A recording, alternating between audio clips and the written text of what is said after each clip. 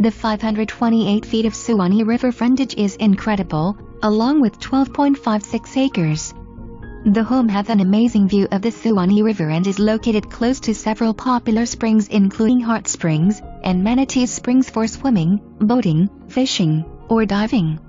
This custom-built home has been completely updated featuring a new kitchen, bathroom, real hardwood pine floors, crown molding, custom lighting and fixtures.